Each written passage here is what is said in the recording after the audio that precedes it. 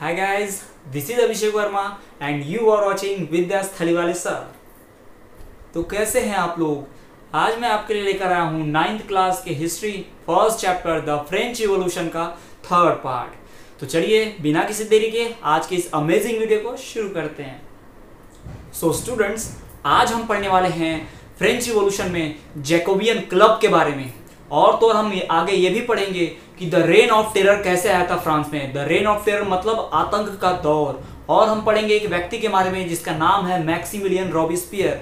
तो आज का वीडियो बहुत ही ज़्यादा अमेजिंग और इंटरेस्टिंग होने वाला है। तो बहुत ही ध्यान से आज के वीडियो को देखिएगा।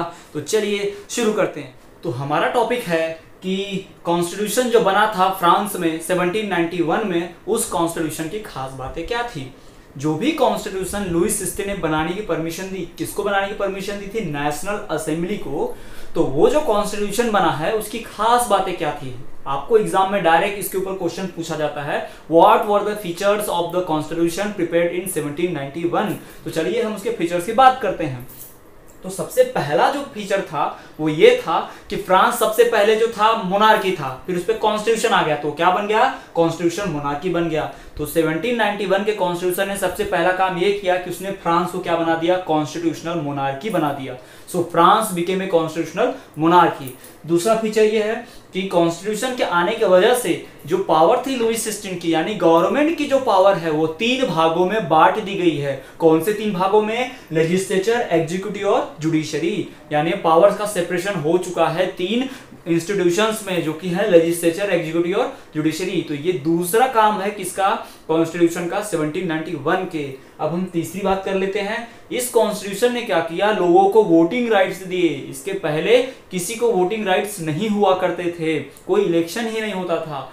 पहली बार फ्रांस में इलेक्शन शुरू हुए और लोगों को वोटिंग राइट्स मिले। लेकिन यहाँ पर ध्यान देने वाली बात यह है कि वोटिंग राइट सिर्फ़ उन्हीं को मिले हैं, जिनकी एज कितनी है? 25 इयर्स के अबो है, और साथ ही साथ वो मेन होने चाहिए, और थ्री डेज़ के इक्वल वेजेस का टैक्स पे करना ही चाहिए।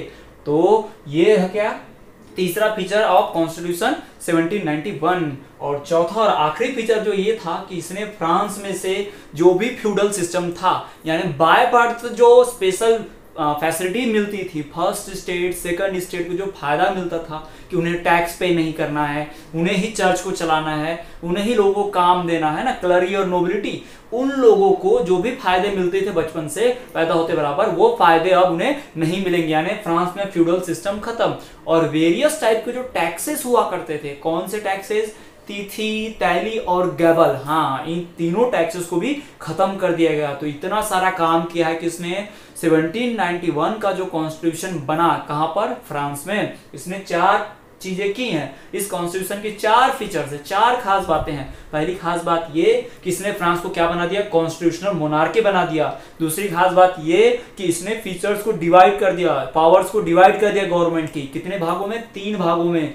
लेजिस्लेचर एग्जीक्यूटिव और जुडिशरी में। तीसरी खास बात ये कि इसने 25 इयर्स के अबो जो मेन थे और थ्री डेज़ के वेजेस के इक्वल टैक्स पे करते थे, उन्हें वोटिंग राइट्स भी दिलवा दिया। और चौथा, इसने जो फ्यूडल सिस्टम है, चल रहा है फ्रांस में, उसको अबॉलिश किया और वेरियस टाइप के टैक्सेस भी खत्म किए। तो ये है हमारा features of constitution 1791 in France तो कॉन्स्टिट्यूशन के फीचर्स पढ़ने के बाद 1791 में फ्रांस में जो कॉन्स्टिट्यूशन बना, उसके फीचर्स को पढ़ने के बाद, अब हम पढ़ेंगे कैसे फ्रांस में मोनार्की धीरे धीरे खत्म होने जा रही है। सबसे पहले फ्रांस मोनार्की था, फिर वो कॉन्स्टिट्यूशन मोनार्की बना। अब हम ये देखेंगे कि उसकी कॉन्स्टिट्यूशन मोनार्की भी धीरे धीरे खत्म होने जा रही है। अब फ्रांस रिपब्लिक बनने वाला है तो हम यही पढ़ेंगे।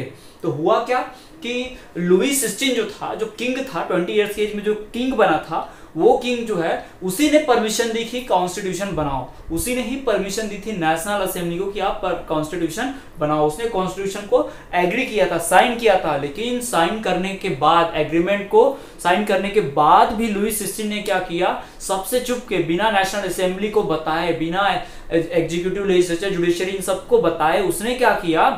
दूसरे किंग के साथ, उसने क्या किया? प्रशिया के राजा के साथ सीक्रेट नेगोशिएशन कर लिया, समझौता कर लिया।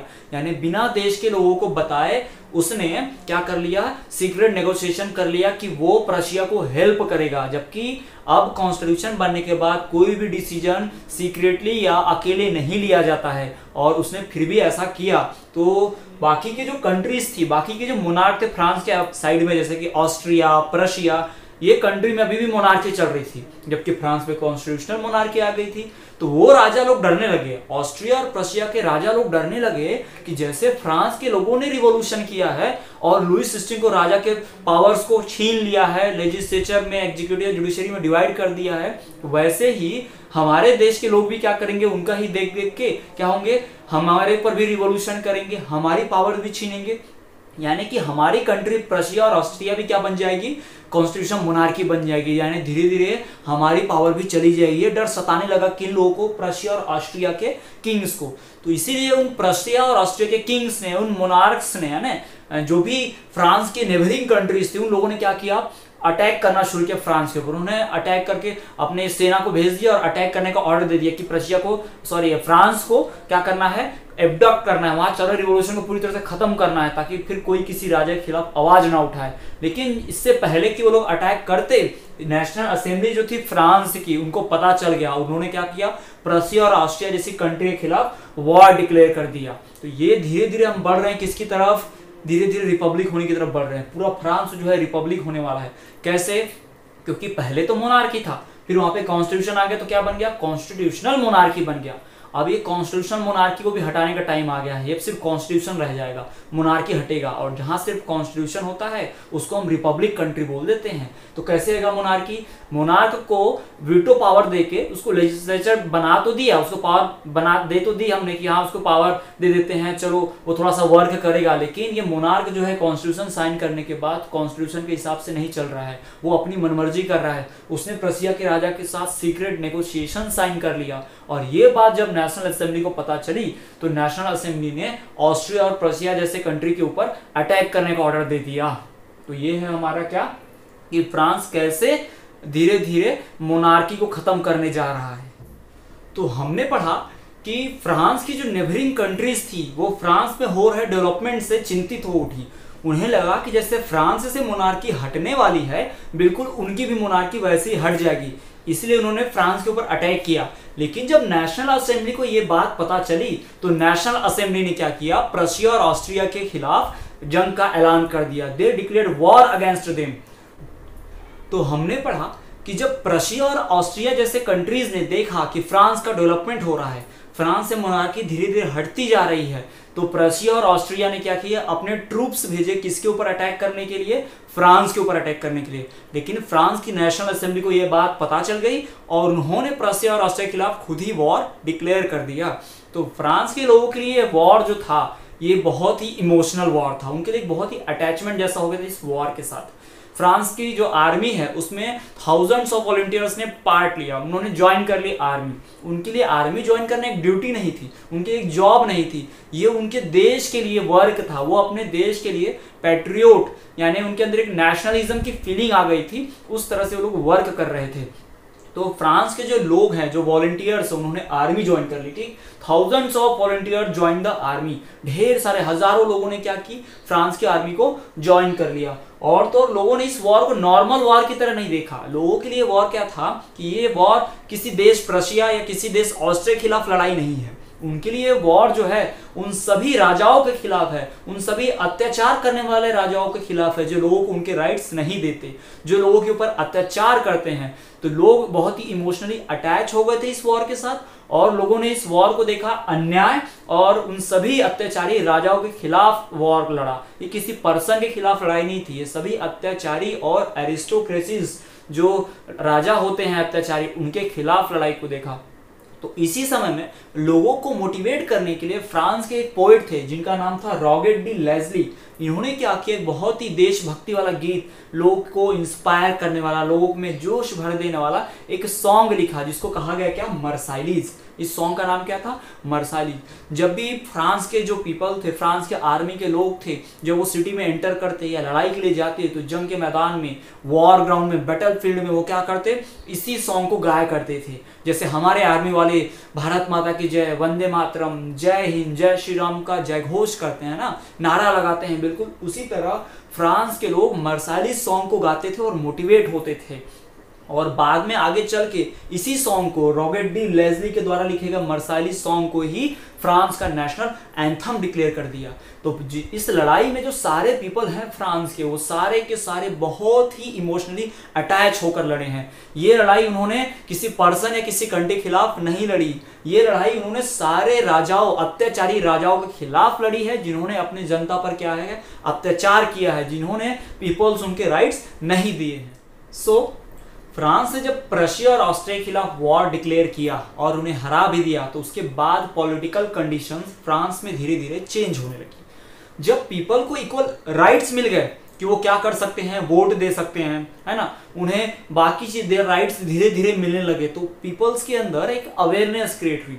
जो फ्रांस के पीपल थे, खास करके मिडिल क्लास और लोअर क्लास के पीपल यानी थर्ड स्टेट वाले, उनके अंदर पॉलिटिक्स को लेकर, उनके अंदर पूरे कंट्री में चल रही गवर्नमेंट गवर्नेंस और साथ ही साथ गवर्नमेंट की पॉलिसीज़ और प्रोग्राम्स को लेकर बहुत सारे थॉट्स आते थे।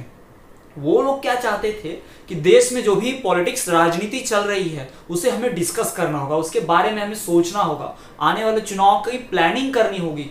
और गवर्नमेंट जो प्लान बनाती है गवर्नमेंट जो पॉलिसीज़ निकालती है, योजनाएँ लाती है, उसके बारे में उसकी गलतियाँ, उसकी अच्छाइयाँ, ये सब जानने के लिए, समझने के लिए, ये सब डिस्कस करने के लिए उनको एक पर्टिकुलर प्लेटफॉर्म चाहिए, है ना? उनको एक ऐसी जगह जिससे बात कर सकें। तो उन्होंने क्या किया? पॉलिटिकल क्लब्स बनाए ग्रुप्स बनाए। जैसे हमारे यहाँ क्या होता है, आप देखो गाँव में किसी पेड़ के नीचे या किसी पुल के पास या किसी दुकान, पांठेला वगैरह पे लोग अक्सर जमा हो जाते हैं और बैठ के बातचीत करते रहे। पंचायत जैसा है ना मीटिंग होती है। बिल्कुल वैसे। तो ये लोग भी वैसे ही करना चाहते थे। तो इसके लिए उन्होंने पॉलिटिकल क्लब्स बनाए। और इन पॉलिटिकल क्लब्स में सबसे फ़ेमस पॉलिटिकल क्लब था जैकोबिन क्लब कौन सा क्लब सबसे फ़ेमस था? जैकोबिन क्लब सबसे फ़ेमस था। ये जैकोबिन क्लब में सिर्फ़ वही लोग हुआ करते थे जो लेस प्रॉस्पेरस पीपल थे। पहले ही आपको बताया कि इसमें थर्ड स्टेट वाले ज़्यादा है। तो थर्ड स्टेट में से भी artisan servants daily wage workers यानी लेस प्रॉस्पेरस पीपल कम अमीर लोग, एकदम गरीबी समझ लीजिए बिल्कुल, उन लोगों ने ज़्यादा इंटरेस्ट दिखाया जैकोबिन क्लब को पार्टिसिपेट करने में। तो आइए हम देखते हैं डिटेल में कि ये जैकोबिन क्लब है क्या। तो जैकोबिन क्लब एक सबसे फ़ेमस पॉलिटिकल क्लब है फ्रांस में। है ना? आप शॉर्ट भाषा में इसको पॉलिटिकल पार्टी भी कह सकते हैं। आगे चल के इसने फ्रांस पे कंट्रोल भी किया, चुनाव भी लड़ा, ठीक? तो फ्रांस में जो सबसे फ़ेमस पॉलिटिकल क्लब या पॉलिटिकल पार्टी कोई हुई तो शुरुआत किसी वो जैकोबिन क्लब से। छोटे छोटे और भी क्लब थे, पर एक कुछ ज़्यादा ही फ़ेमस था, क्योंकि ये किसके द्वारा बनाया गया था? थर्ड स्टेट के लोगों के द्वारा बनाया गया था, और उनकी पॉपुलेशन सबसे ज़्यादा थी 2.7 करोड़, ठीक? तो ये जो जैकोबिन क्लब वाले हैं, ये लोग अपने आप को दूसरों से अलग दिखाना चाहते हैं। ये लेस प्रॉस्पेरस हैं तो ये जो क्लर्गी वाले हैं नोबिलिटी वाले हैं, उनसे अपने आप को अलग ही दिखाना चाहते हैं हमेशा। जैकोबिन क्लब जो है, ये किसके नाम पे रखा गया था? सेंट जैकोब पेरिस सिटी जो है पेरिस में, फ्रांस की जो कैपिटल है पेरिस वहाँ पे कॉन्वेंट था, जिनका नाम था सेंट जैकोब तो उन्हीं के नाम पर इसका नाम क्या रख दिया उन्होंने? जैकोबिन क्लब नाम रख दिया। और जब एक क्लब बना तो इसका लीडर इसका हेड था मैक्सिमिलियन रॉबिस्पियर जी हाँ इसका नाम बहुत ध्यान से याद रखिए, क्योंकि इसने आगे चल के बहुत कांड किए फ्रांस में। तो इसके बारे में टेल में और पढ़ना है। तो जैकोबियन क्लब का लीडर कौन रहा है? मैक्सिमिलियन रॉबिस्पियर रहा है। तो मैक्सिमिलियन रॉबिस्पियर जो है, वो फ्रांस के जैकोबियन क्लब का हेड रहा है। ये जैकोबियन क्लब वाले लॉन्ग स्ट्रिप ट्राउज़र पहनते थे। ये नोबिलिटी से अलग दिखना चाहते थे। ये अपने आप को एक अलग क्लास दिखाना चाहते थे ना? ये अमीरों की तरह दिखना नहीं चाहते थे। ये लेस प्रॉस्परस सोसाइटी थी। तो वो अपर क्लास वाले से थोड़ी सी नफरत जैसी फीलिंग रखते थे। तो इन्होंने क्या किया? खुद को दूसरों से अलग दिखाने के लिए लंबे पजामे पहनते तो वो स्ट्रिपेड यानी धारीदार है ना? आपने देखा होगा वो आ, क्या कहते हैं उसे वो हाफ़ चड्डा होता है ना बिल्कुल शॉर्ट्स नी ब्रीचेस ठीक? जो घुटने तक आता है उसको नी ब्रिचेस बोलते हैं। हाफ़ चड्डा जिसको हम लोग बोलते हैं अपनी भाषा में बरमुडा या थ्री फोर्थ बोलते हैं जिसको हम लोग ठीक? तो वो ये लोग पहनते थे और वो भी लॉन्ग स्ट्रिपेड यानी धारीदार लंबी लंबी ऐसी लाइनें हुआ करती थी। जैसे जोकर लोग कैसा पैंट पहनते, बिल्कुल वैसा। ये लोग रेड कैप पहनते थे।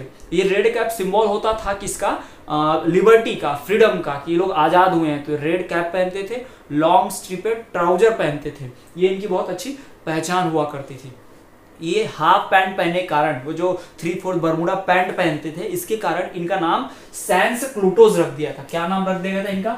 सैंस क्लूटोज सैंस क्लूटोस भी बोलते थे जैकोबियन क्लब वालों को, ध्यान रखिए एग्ज़ाम में वन मार्क्स आ सकता है कभी आपको। तो इन जैकोबियन क्लब वालों को सैंस क्लूटोस भी बोलते थे। सैंस क्लूटोस का मतलब होता है नी विथआउट ब्रीचेस यानी घुटना जो कि ढका हुआ नहीं अगर हाफ़ पैंट पहनेंगे तो घुटने तक तो नहीं जाएगा, है ना? तो ये उसी तरह का पहले से इनको नी विथआउट ब्रीचेस बोलते थे। किसको? ये जैकोबियन क्लब वालों को सैंड क्लूटोस भी इनका नाम पड़ गया था। तो ये है जैकोबियन क्लब क्या है जैकोबियन क्लब? फ्रांस का one of the most successful political club है, जो किसके नाम पर रखा गया है? सेंट जेकब के नाम पर रखा गया है।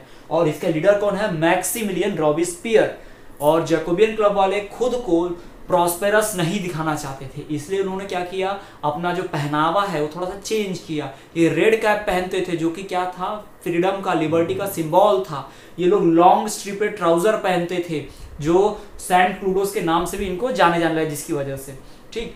तो ये है हमारा Jacobin club so Jacobin club पढ़ने के बाद, अब हम पढ़ेंगे कैसे जैकोबिन क्लब ने फ्रांस में मोनार्की को एंड कर दिया।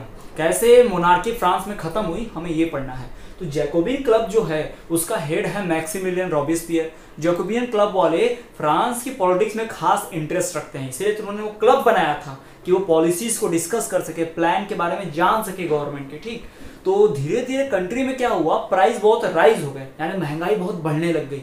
तो जब जैकोबियन क्लब वालों का सब्र टूट गया, जब उन्हें पता चला कि उन्हें ऐसा, एहसास हुआ कि गवर्नमेंट अब संभाल नहीं सकती कंट्री को तो उन्होंने क्या किया टेन अगस्त को, जैकोबिन लोगों ने क्या किया? टेन अगस्त को प्राइस राइज की वजह से राजा का जो महल है पैलेस टूलिरीज जहाँ पे राजा रहता था the people of Jacobin attack on the palace of Tuileries Jacobin club के लोगों ने क्या किया? राजा के महल पर, जो तुलिरीज नाम से जाना जाता उसके ऊपर अटैक कर दिया और किंग को हॉस्टेज यानी बंधक बना लिया। पैलेस के ऊपर अटैक करके राजा को कैद करके बंधक बना लिया और उसकी जो पूरी फैमिली है, उसको जेल में डाल दिया। रॉयल फैमिली पूरा शाही परिवार को, उसके चाचा, भतीजा भी, बच्चे जो भी थे, उन सबको इम्प्रिजन कर दिया। और ये सब करने के बाद, यानी अब तो जो पुरानी गवर्नमेंट चल रही थी, वो तो नहीं रही राजा को हटा ही दिया गया। तो अब नई सरकार बनेगी न्यू गवर्नमेंट फॉर्म होगी। और न्यू गवर्नमेंट फॉर्म करने के इलेक्शन करवाना होता है। तो रॉयल फैमिली को इम्प्रिजन करने के बाद किंग को होस्टेज बनाने के बाद नेशनल असेंबली ने फिर से इलेक्शन करवाया। देश में फिर से क्या हुए? चुनाव हुए। और इस चुनाव में 25 इयर्स के एज वालों ने वोट नहीं दिया। इस चुनाव में जो भी मेन 21 इयर्स के ऊपर का है, वो वोट देगा। उसने इलेक्शन में पार्ट लिया, चाहे वो थ्री डेज़ के इक्वल वेजेस का टैक्स पे करता हो या नहीं करता हो। अब 21 के, वो जो भी है मेन है, उसे वोट देने का अधिकार होगा। ये न्यू इलेक्शन में ऐसा हुआ। और जब न्यूली फॉर्म इलेक्शन हुआ न्यू इलेक्शन बना तो इसमें क्या हुआ? एक नई असेंबली बनी, जिसको क्या नाम दिया गया? कन्वेंशन नाम दिया गया। इस नई असेंबली को क्या नाम दिया गया? कन्वेंशन जो नेशनल असेंबली पहले थी किंग को हॉस्टेज बनाने के बाद रॉयल फैमिली को कैद करने के बाद इनने फिर से क्या किया? इलेक्शन कराया। और इस इलेक्शन में राइट टू वोट किस किस को था? 21 इयर्स के सभी मेन को। चाहे वो टैक्स पे करते हो वेजेस वाला या नहीं करते हो, ठीक? और ये जो नई असेंबली बनी है, इस नई असेंबली का नाम क्या रखा गया है? कन्वेंशन नाम रखा गया है। और इस कन्वेंशन ने क्या किया? फ्रांस को डिक्लेयर कर दिया कि राजा हट चुका है, पुराना कॉन्स्टिट्यूशन खत्म है। अब फ्रांस जो है, वो सिर्फ़ और सिर्फ़ क्या है? कॉन्स्टिट्यूशन है, यानी कि रिपब्लिक बन चुका है। देखिए, सबसे पहले फ्रांस क्या था? मोनार्की। उसमें क्या जुड़ गया? कॉन्स्टिट्यूशन। तो क्या बन गया? Constitutional monarchy. अब उसमें से कॉन्स्टिट्यूशन और मोनार्की में से मोनार्की हट गया, अब क्या रह गया? सिर्फ़ कॉन्स्टिट्यूशन। और जिस देश में सिर्फ़ कॉन्स्टिट्यूशन होता है, उसे क्या बोलते हैं? उसको रिपब्लिक बोल देते हैं, ठीक? तो इस तरह से मोनार्की का खात्मा हुआ है। कॉन्स्टिट्यूशनल मोनार्की में से क्या हो गया है? मोनार्की हट गया है, सिर्फ़ कॉन्स्टिट्यूशन बच गया है। पहले मोनार्की फिर कॉन्स्टिट्यूशन मोनार्की अब सिर्फ़ कॉन्स्टिट्यूशन यानी कि फ्रांस क्या बन गया? रिपब्लिक तो this is how France became republic और फ्रांस को रिपब्लिक बनाने के बाद राजा के ऊपर देशद्रोह का मुकदमा चलाया गया। एसल असेंबली यानी कि न्यूली फॉर्म कन्वेंशन ने डिसाइड किया कि जो राजा है, उसने देशद्रोह किया है, उसने देश के खिलाफ गलत काम किए हैं। उसने कॉन्स्टिट्यूशन साइन करने के बावजूद प्रसिया जैसी कंट्री से सीक्रेट नेगोशिएशन साइन किया। उसने देशद्रोह किया, देश के खिलाफ गद्दारी की। इसलिए उसके ऊपर देशद्रोह का मुकदमा चलाया गया और उस किंग को फांसी पे चढ़ा दिया गया। So our next topic is reign of terror तो रेन ऑफ़ टेरर क्या है? रेन का मतलब होता है टाइम पीरियड दौर। और टेरर का मतलब होता है भय, डर। यानी एक पूरा डर का माहौल, डर डर का टाइम बना दिया था किसने? मैक्सिमिलियन रॉबिस्पियर ने। 1793 से 1794 के बीच जो है, उसे ही क्या कहा जाता है? रेन ऑफ़ टेरर कहा जाता है। क्यों कहा जाता है? कैसे? तो हम आपको बताते हैं। जैसे ही जैकोबियन क्लब ने राजा को हॉस्टेज बना के उसको कैद कर दिया ट्रेजन पे चढ़ा दिया और पूरी गवर्नमेंट को कंट्रोल में कर लिया तो राजा बनने राजा को एग्जीक्यूट करने के बाद, फांसी पर चढ़ाने के बाद जो न्यू लीडर बना है कंट्री का, वो है मैक्सिमिलियन रॉबिस्पियर क्योंकि मैक्सिमिलियन रॉबिस्पियर ही तो जैकोबियन क्लब का हेड था। आपको पहले ही बता चुका हूँ इस आदमी का नाम याद रखिएगा, आगे बहुत बड़ा कांड करने वाला है ये। ठीक तो ये मैक्सिमिलियन रॉबिस्पियर जो है, वो कौन है? जैकोबियन क्लब का हेड है। अब वो फ्रांस की कंट्री का भी हेड बन चुका है न्यूली गवर्नमेंट की वजह से न्यू कन्वेंशन बनने की वजह से। ठीक तो ये आदमी क्या करता था? जो भी पर्सन फिर से मोनार्की की बात करेगा जो भी पर्सन कोई क्राइम करेगा और गिल्टी फाउंड होगा, कुछ भी गड़बड़ी करते हुआ कोई पर्सन पाया गया और मोनार्की को सपोर्ट करता पाएगा तो उस पर्सन को सीधा सीधा गुलोटाइन कर दिया जाता था। ये गुलोटाइन क्या होता है? एक डिवाइस होता है, जिसमें दो पोल लगे होते हैं। देखिए, बनाया है यहाँ पर हमने। दो पोल लगे होते हैं और यहाँ पर नीचे एक ब्लेड होता है। मस्त ऐसा ब्लेड में ऐसा मुंडी रखने का एक नंबर जगह बना रहता है और जैसे ऐसा ब्लेड नीचे गिरता है, मुंडी एकदम झकास, एक नंबर कट जाती है, खचाक। तो इसी को बोलते हैं क्या? गुलोटाइन बोलते हैं। इसको बनाया था डॉक्टर गुलोटिन ने। डॉक्टर गुलाटी नहीं, डॉक्टर गुलोटिन ने बनाया था इसको। इससे इसको गुलोटाइन बोलते थे। रस्सी से ऐसा ऊपर से ऐसा ब्लेड नीचे से आता था खचाक ऐसा मुंडी कट जाता था एक नंबर। तो जो भी पर्सन क्राइम करता, जो भी पर्सन गिल्टी फाउंड होता, मैक्सिमिलियन रॉबिस पे उसको क्या करता, इसी गुलोटिन पे उसकी मुंडी कटवा देता था, उसका गला कटवा दिया करता था। तो इसी टाइम पीरियड को क्या कहते हैं? रेन ऑफ़ टेरर करते हैं। छोटी सी भी गलती रही तो उसको क्या कर देंगे? ग्लोटाइन कर देंगे। तो थोड़ी सी गलती के लिए इस तरह की सजा देना, इतनी दर्दनाक मौत देना, इसको क्या कहा जाता है? रेन ऑफ़ टेरर कहा जाता है। तो 1793 से 1794 के बीच में मैक्सिमिलियन ने बहुत ही कड़क, बहुत ही कठोर स्ट्रिक्ट रूल्स एंड रेगुलेशन लगा के रखे कंट्रोल पॉलिसी लगाई। और इसी टाइम पीरियड को क्या बोलते हैं? फिर रेन ऑफ़ टेरर बोलते हैं। ये किसने किया है? मैक्सिमिलियन रॉबिस्पियर ने किया है, ठीक? बाद में चल के मैक्सिमिलियन रॉबिस्पियर को भी इसी ग्लोटाइन पे ग्लोटाइन कर देगा कि इसने भी वही किया था। बोलते हैं ना, दूसरों के लिए गड्ढा खोदो तो खुद भी उसमें गिरते हैं। तो बिल्कुल यही हुआ किसके साथ? मैक्सिमिलियन रॉबिस्पियर के साथ भी। और अगर आप थोड़ा सा डिटेल में और सोचें तो फ्रांस के लोगों को राजा के आतंक से इंडिपेंडेंट करवाया मैक्सिमिलियन ने और खुद लोगों को क्या करने लगा? आतंकित करने लगा। यानी पहले लोगों को मुक्ति दिलाया खुद लोगों पे अत्याचार कर रहा है। एक अत्याचारी खत्म हुआ, किंग खत्म हुआ तो दूसरा अत्याचारी मैक्सिमिलियन आ गया। तो फ्रांस के लोगों के लिए जो मैक्सिमिलियन रॉबिस्पियर है, वो एक मसीहा की तरह था शुरुआत में। उसने लुइस सिस्टीन से मुक्ति दिलाई। उसने जैकोबियन क्लब बना के लुइस सिस्टीन जैसे एरिस्टोक्रेट गवर्नमेंट को हटाया, लेकिन बाद में इसने ही रेन ऑफ़ टेरर कर दिया। इसने ही सीवियर कंट्रोल की पॉलिसी अपना ली और लोग गुलेटाइन करने लगा। तो आखिरकार मैक्सिमिलियन रॉबिस्पियर भी बिल्कुल वही निकला जो लुइस सिस्टीन था। फ्रांस के लोगों के लिए तो ये वही बात हो गई थी, आसमान से टपके और खजूर में अटके। उनके प्रॉब्लम्स खत्म होने का नाम ही ले ले रही है। ठीक तो इसके बाद रेन ऑफ़ टेरर के बाद हम चलिए पढ़ते हैं अपना अगला टॉपिक तो हमने पढ़ा कि मैक्सिमिलियन रॉबिस्पियर ने रेन ऑफ़ टेरर लाया। मतलब उसने भी बहुत गलत काम किया उसने भी लोगों को बहुत ही आ, सताया उनको भी बहुत ही डर के माहौल में रखा। तो ऐसा क्या किया था? और मैक्सिमिलियन ने कि लोगों के अंदर बहुत ही आतंक और भय का टेरर का पूरा इन्वायरमेंट क्रिएट हो गया था। हम उसी बात को यहाँ पढ़ने जा रहे हैं। हम पढ़ने वाले हैं कि कैसे मैक्सिमिलियन ने पूरे समाज में, पूरे फ्रांस में सबको इक्वल करने की कोशिश की। यानी अमीर और गरीब को इक्वल करने की उसने कोशिश कैसे की है, उसके जो इक्वालिटी मेजर्स थे, उसने जो तरीका अपनाया था, सबको सेम करने का, वो उसके तरीके पढ़ने वाले हैं। ठीक है, चलिए हम पढ़ते हैं। सबसे पहले तो उसने कहा कि मैक्सिमिलियन ने, उसने डेली के जो वेजेस होते हैं उसको फिक्स कर दिया और जो भी गुड्स होंगे, उन्हें बेचने का सामान का प्राइस भी क्या कर दिया पूरा? फिक्स कर दिया। यानी मैक्सिमम प्राइस जिसको आप एमआरपी बोलते हैं मैक्सिमम रिटेल प्राइस वो फिक्स कर दिया और साथ ही साथ जो लेबर्स की वेजेस होगी, उनकी दिन भर की जो मजदूरी होगी, उसको भी क्या कर दिया इसने? फिक्स कर दिया। तो इसका ड्रॉबैक भी ये था। मैक्सिमम प्राइस फिक्स किया है तो ठीक है, कोई महँगा सामान नहीं बेच सकता। पर जो वेजेस फिक्स करना है, ये गलत हो गया। क्योंकि वेजेस जो है अपनी मेहनत के हिसाब से मिलता है, काम के हिसाब से मिलता है, और ज़्यादा काम के तो ज़्यादा वेज मिलना चाहिए, पर इसने वेजेस फिक्स कर दिया है, जिसकी वजह से लेबर्स और पीजेंट से ज़्यादा काम करवाया जाता और वेज वही फिक्स वाला दिया जाता। तो ये प्रॉब्लम वाली बात थी। दूसरा मेट एंड ब्रेड जो मीट और ब्रेड है, उसको राशनाइज कर दिया गया। राशनाइज मतलब मीट यानी कि मटन और ब्रेड जो है, वो अब सिर्फ़ राशन की दुकानों में मिलेगा। जैसे हमारा सोसाइटी कंट्रोल में मिलता है ना राशन, गेहूँ, चावल, बिल्कुल वैसे। यानी कि अब सिर्फ़ गवर्नमेंट को ही अधिकार है मीट और ब्रेड बेचने का। कोई भी प्राइवेटली इसको बेच नहीं सकता। तीसरा पीजेंट्स और फार्मर्स को फोर्स किया जाता कि वो अपना अनाज बहुत ही कम कीमत में, एकदम फिक्स प्राइस पे शहरों में ले जाकर बेचे। मान लीजिए किसी साल फ़सल बहुत कम हुई तो किसान अपने रेट्स हाई रखेगा, लेकिन ऐसा कुछ नहीं होगा। मैक्सिमिलियन के अकॉर्डिंग जो भी ग्रेन्स होंगे, किसानों को वो ग्रेन शहर में बहुत ही फिक्स प्राइस पे, जो फिक्स बताया गया, उसी प्राइस पे बेचने पड़ेंगे। ये मैक्सिमिलियन का इक्वालिटी मेजर था, ये भी गलत था। इससे किसानों के साथ, पीजन के साथ बहुत अत्याचार होता था, उनको बहुत लॉस होता था। और इसने क्या किया?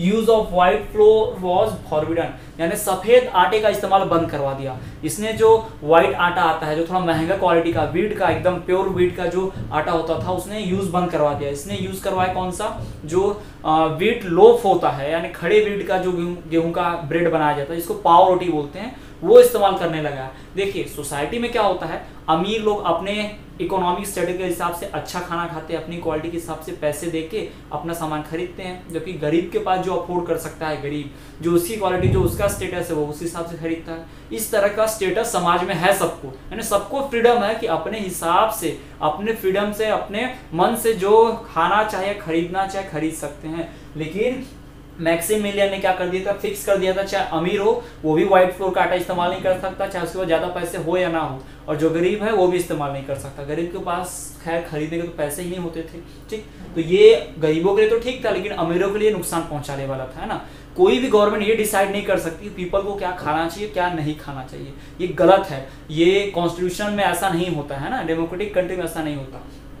मैक्सिमिलियन ने और क्या किया कि सभी सिटीजन को फोर्स कर दिया कि सारे सिटीजन इक्वालिटी ब्रेड खाएँगे। ये इक्वालिटी ब्रेड क्या होता है? वही जो मैंने आपको बताया कि व्हाइट फ्लोर नहीं खाएँगे, है ना? जो वीट लोफ होगा, जिसको पाव रोटी बोला जाता है, वही वाला ब्रेड सब लोग इस्तेमाल करें। कोई भी व्हाइट फ्लोर वाला ब्रेड इस्तेमाल नहीं करेगा। यानी लो क्वालिटी का ब्रेड सब इस्तेमाल करेंगे। और तो और इसने क्या किया? जो ट्रेडिशनल वर्ड्स थे, यानी जो पारंपरिक शब्दों का इस्तेमाल होता था, जैसे कि मोन्सिर और मदामी फ्रेंच भाषा में है। मोन्सिर मतलब सर मदामी का मतलब मैडम यानी लोग, वहाँ के लोग एक दूसरे को बोलने के लिए सर मैडम का इस्तेमाल करते यानी मोन्सिर और मदामी शब्द का इस्तेमाल करते थे। तो इसने क्या किया? बंद करवा दे कि इस शब्द का इस्तेमाल कोई नहीं करेगा।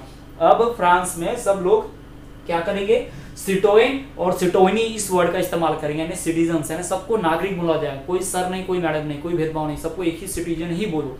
ऐसा इसने किया, किसने? मैक्सीमिलियन ने किया।